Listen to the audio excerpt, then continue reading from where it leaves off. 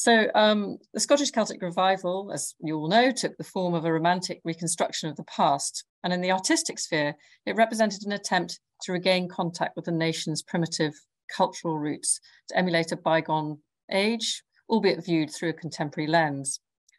It drew on the discoveries of archaeologists and antiquarians, and it was driven by a demand for authenticity, often underpinned by different ideological agendas. In Edinburgh, the revival was spearheaded by the biologist and utopian visionary Patrick Geddes that we've already heard about in previous uh, talks. And it was he who voiced the principal beliefs of the movement through his publication, The Evergreen. The cover, the cover, which was designed by Charles Hodge Mackie, was emblazoned with a Celtic tree of life, and the journal included translations of Breton and Irish legends and the poetry and writings of Fiona MacLeod, the female alter ego of the publication's editor, William Sharp. Among the many contributors was the artist John Duncan, who produced some of the key images of the Scottish Celtic revival. And it's my aim in this paper to create a context for a deeper understanding of Duncan's Celtic revival works. Now, Duncan was art editor of the Evergreen, and um, the aims of the journal were blatantly propagandist from the outset, designed to promote Celticism as progressive, health giving, regenerative, and anti decadent. And as Robert Nichol Robin Nicholson has argued, the journal was established in opposition to the decadent London based Yellow Book, which included illustrations by Aubrey Beardsley. Everything about the design of the evergreen was by contrast inspired by supposedly purer northern and specifically Celtic sources. The first volume was illustrated with head and tail pieces that drew on Celtic designs inspired by insular manuscripts such as the Book of Kells. The opening essay or proem by W. MacDonald and J. Arthur Thomson demanded a return to the purity of nature, from urban to rural, from fever to fresh air.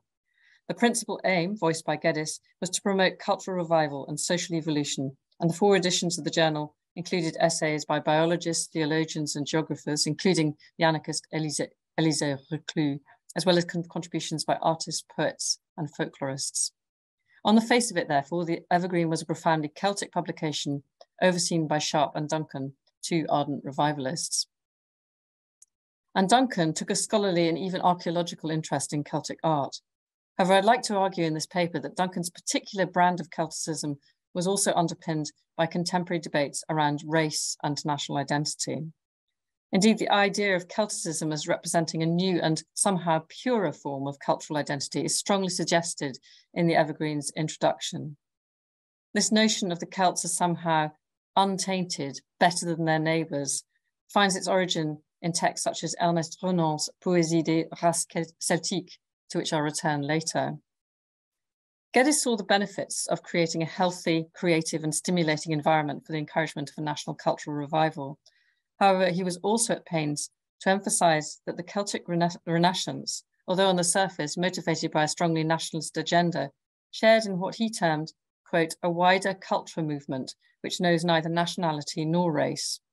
For Geddes, Scottish identity was embedded in a collective, multi multifaceted Celtic identity, and its roots were to be found, quote, in the wilder dreamlands of Galway and Cadair Idris, of Man and Arran and Galloway, Geddes may have avoided the term race, but he was influenced nonetheless by the sociological beliefs of the French writer Hippolyte Taine, and in particular by his notion that the work of art is a product of race, milieu, et moment. By race or race, Taine meant an inherited national disposition or temperament. By milieu, he was referencing the immediate physical and socio-political environment in which the work of art was created. And by moment, he suggested something along the lines of zeitgeist, and sometimes even the way in which past and present cultural traditions interact. And Geddes refers indirectly to Taine in his 1895 essay on the Celtic Renaissance when he writes, you can see it um, in bold here, all organic beginnings to survive and grow need fit time and even more than fortunate place. However, he's very careful to omit any reference to race. Now, before moving on to Duncan, I'd like to spend a few minutes looking more closely at this problematic term, race. Um, for a concept of a Celtic race was hotly debated in the mid to late 19th century. The Celtic tribes were identified initially on the basis of different language use, indicated by the map on the right. The Irish and Scots spoke Gaelic or Goidelic, The second Celtic group spoke Brythonic or Cymric, and the rest of Britain was inhabited by the Anglo-Saxons. Of course, in the seventh century, as this map on the left demonstrates, Scotland, Wales, and England, as we know them, did not yet exist. Borders were eternally shifting, and the transition from a Roman style administrative system to the Celtic kingdom was only gradual. Celtic identity was something constantly fluid and, and shifting. By contrast, 19th century, or the, eh, by the 19th century, the characterization of the Celts was much more polarized and, and thoroughly prejudiced. The Celts were treated as one race and were often compared, usually unfavorably, to their southern neighbors, the Teutons. Now, religious difference, as much as racial prejudice, complicated the issue and led British historians to cast the Celts in a dubious light.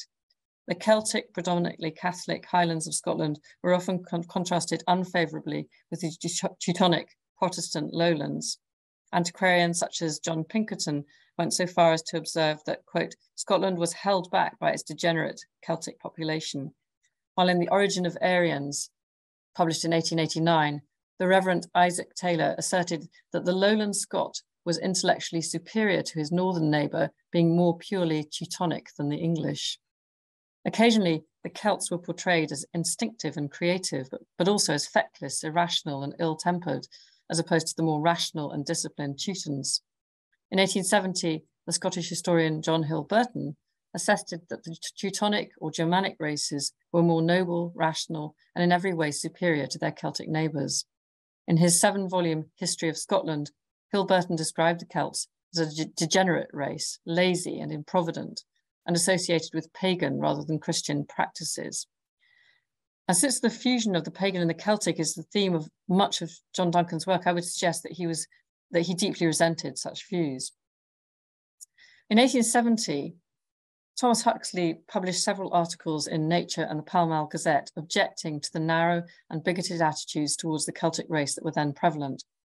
As Huxley and others pointed out, such divisiveness was too simplistic and limiting, since parts of England and lowland Scotland, the so-called Teutonic areas, were colonised by Celtic tribes. In an article published in Nature, Huxley discussed the physical appearance of the British, which uh, he divided into two types, again, very quite a narrow definition. He, and he wrote as follows, the one type is tall, fair complexioned, yellow or red haired and blue eyed. The other, short, dark complexioned, black haired and black eyed. The two types and their intermediate gradations are at present to be found side by side in most parts of the British Islands. There is a marked predominance of the fair type in the eastern half of Britain, that's the Saxon part. The languages spoken by the English people have at the present time no relation to these two physical types. English speakers and Celtic speakers belonging no less to the one type than to the other, nor are the two Celtic dialects, Cymric and Gaelic, confined to people of the one or the other physical type as both the types described are exhibited in their extreme forms among Welshmen, Highlanders, and Irishmen. So he's really at pains to um, to kind of emphasize that it's it was really not as simple as as these historians were making out. Now Matthew Arnold, later in the century, um, in his study of Celtic literature, which was published in 1891, did much to redefine the Celts as a sensitive and imaginative race.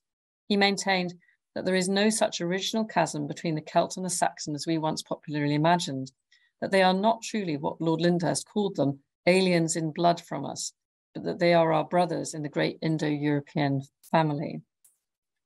Arnold was strongly influenced by the French historian Ernest Renan, whose Poésie des races celtiques, originally published in 1854, was translated into English in 1896.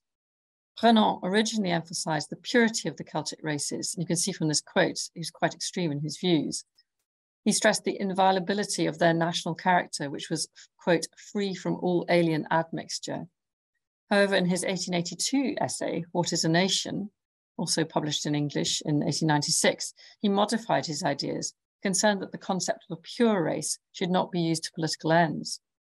Renan believed that race should not be confused with nation, since a nation could be made up of different ethnic types.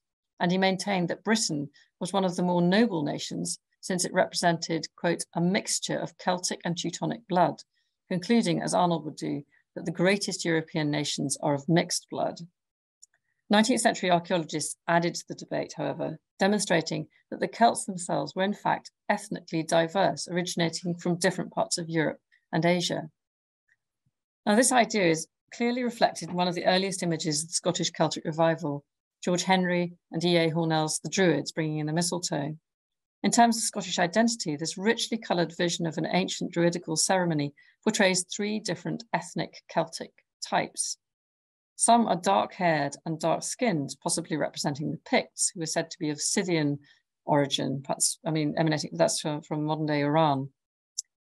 Others are red haired and fair skinned, representing the kingdom of Dalriada, colonized in the third or fourth centuries by the Scots, a warlike Celtic race with red hair and green eyes. This is obviously, this is taken from a, a 19th century source. A third type in the painting possibly represents the Britons or Bretons of Strathclyde, another Celtic tribe who controlled the area from the River Clyde to the Solway Firth and beyond into northern England. They were stocky, fair skinned, and dark haired. Now, Henry and Hornell claim to base some of their figures features on actual Druid skulls, but of course, as um, has been recently dis discovered, they used photographs of Native Americans as their source. Um, now to John Duncan, he too embraced the idea of a Scottish nation whose mythical roots were plural and multinational. His sources were eclectic, and his paintings and drawings were informed by extensive reading of the Celtic myths, a knowledge of the Gaelic language, and a visual repertoire of Celtic imagery bordering on antiquarianism, as well as a fertile imagination. He had a large library and he read avidly in both English and French. His notebooks, which are now in the National Library of Scotland, list publications by Sir John Rhys, Henri d'Arbois de Jubainville, Théodore Hersart, Vicomte de la Villemarque, Daniel O'Sullivan, Albert Lee, Charles Squire, and also he lists the Celtic Review, Celtia, and the Revue Celtique. So he read um, in both French and English uh, fluently. One of Duncan's principal sources of Celtic myth was uh, d'Arbois de Jubainville's Cours de la littérature celtique, the first volume of which was published in 1882. In this ambitious 12 volume publication, d'Arbois de Jubainville discusses the heroes of Celtic myth, beginning with Cuchulainn, Ulster's hero, who led the struggle against the rest of Ireland. The Jubainville dates Cuchulainn's exploits to around the time of Christ and emphasizes the factual basis for these tales, even though the retellings of, of Cuchulainn's exploits were, as the author himself admitted, and I'm quoting, largely creations emanating from the author's Im imaginations, and that in these cycles it's often difficult to distinguish fact from fiction. In his paintings, Duncan too combined fact and fiction, archaeological detail and invention.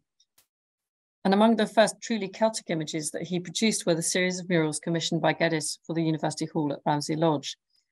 Duncan depicted three Celtic heroes, Fingal or Finn from James Macpherson's Ossian saga, Cuchulainn from the Ulster cycle, and the young King Arthur, whose origins can be found in Welsh folklore. The choice of images was consciously pan-Celtic, perhaps suggesting Geddes's influence again. King Arthur in this work is challenged by his Brythonic half-sister Morgan Le Fay, whose magic symbolically could be said to represent a threat to the historical and cultural continuity of the ancient Britons. Duncan portrays Arthur and his sister as different Celtic types. And it, the question really is, is this deliberate or is it just by chance? Um, she appears as the stockier, dark-haired Briton, pale-skinned, um, and she's held very much in opposition to Arthur, who is slim and red-headed.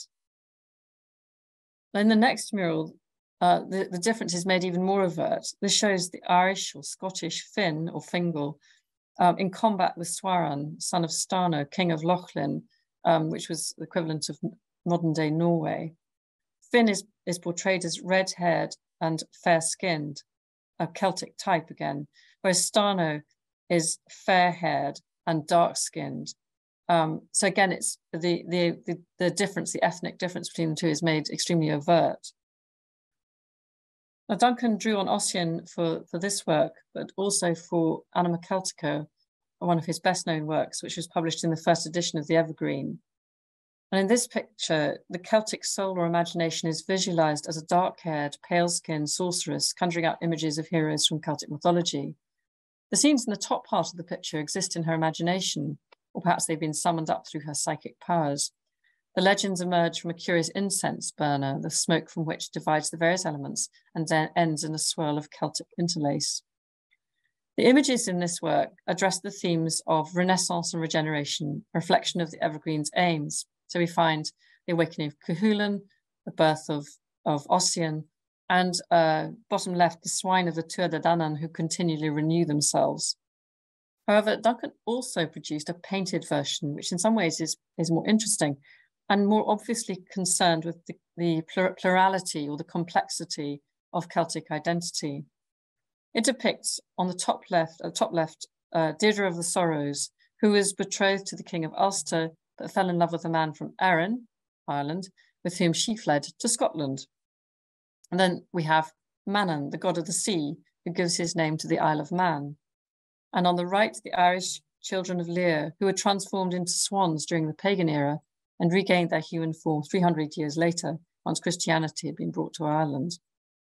The complexity, and the shifting nature of Celtic identity is also a theme of one of Duncan's greatest works, Tristan and Isolde.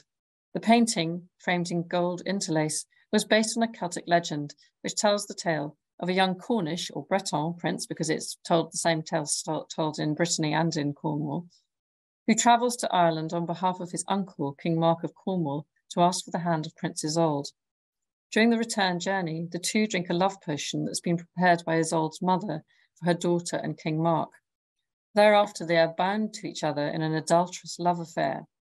The story prefigures the Arthurian love triangle of, of Arthur, Guinevere, and Lancelot, and their union could be said to symbolize the triumph of youth and progress, or a threat to continuity in the status quo. It could be said to represent also the union of the Gael, symbolized by Isolde, with the Cornish, Welsh, Breton, Celt, embodied by Tristan, even if this union is troubled. Now, this is actually made quite overt. The difference between the two is made quite overt in the painting by, by Duncan, um, but using both the appearance of the of the two, but also um, Celtic design. So she is the slender, fair-skinned Irish Scot, while Tristan is a dark-haired, stockier Breton type. Her gown has an iridescent quality reminiscent of medieval illuminated manuscripts, such as the Lindisfarne Gospels, for example. And directly behind and to her right, the ship is decorated with spiral ornaments, commonly found on Irish and Scottish monuments, as well as in, in illuminated manuscripts. Duncan also uses the spiral to symbolize Isolde's, um, sorry, Duncan uses the spiral to symbolize Isolde's Irish stroke Scottish identity. Um, and it's interesting that the archaeologist Romilly Allen noted that in Wales, Cornwall, and the Isle of Man, the spiral ornament, which we see on the left, is very rare. And in order to distinguish Tristan as from Cornish, Welsh, or Breton origins, his sleeve is embroidered with complex knotwork design, which is found on Welsh crosses. In later, more overtly Christian works, such as the Adoration of the Magi and St. Bride and the National Galleries of Scotland, Duncan applies the same approach. But in these pictures, he's, he has also fused pagan Celticism with, awfully, with obviously Christian references. And perhaps he does this in response to the prejudice of commentators such as Hill Burton, the Magi on the left are from different ethnic backgrounds. Their cloaks, rather confusingly, are decorated with Chinese yin and yang symbols, as well as illustrations from the Book of Kells. Their racial diversity was presumably subject to Duncan's own relatively narrow experience of the wider world. Certainly, the figure of Christ and the Virgin are very obviously Western in ethnicity, in keeping with the stereotype perpetuated by Italian Renaissance art, which was another important source for Duncan perhaps more intriguing, are the angels in St. Bride. They carry the young Bridget or bride from Iona to Bethlehem, and they not only wear costumes that combine Christian imagery and Celtic design, but they also resemble West Coast Celts with their reddish hair, fair skin, and pale green eyes. In fact, the angels got almost kind of greenish, hazel coloured eyes. Duncan based this painting on a short story by Fiona Macleod, which tells the tale of Muim Chríost, the, the, foster mother of Christ. So it has a um, kind of a, a, a specific source. Now, it's important to underline that Duncan abhorred the notion of racial isolation because, it, because some of these images might be giving this kind of impression. And while the 19th century trend for creating racial taxonomies led in time to the belief in an Aryan master race, Duncan was strongly opposed to such notions. In 1934, he painted The Challenge on the left, an extraordinary image that draws on Egyptian art and classical mythology, and which was popularly known as the Blonde Beast. By 1939, it evolved into a larger, overtly anti Nazi image, which he renamed Force and Reason.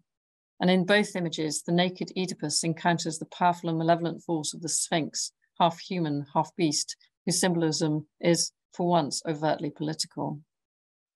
So in conclusion, I hope I've thrown a slightly different light on Duncan's work uh, than before by discussing it in the context of these 19th century debates around race, race and nationhood. And although Duncan's main concern was to create a modern style of painting that drew its inspiration from Celtic art and folklore, he was also concerned to express the multifaceted nature of Celtic identity. Not only was he inspired by the shifting and overlapping narratives of the Celtic myths, he was also fully aware of the historical struggle that had taken place between different tribes, races, and creeds before Scotland became a nation in its own right. This is a major theme of his revivalist works, which I hope I've demonstrated were underpinned by profound belief in Scotland's identity as part of a universal Celtic family. Thank you.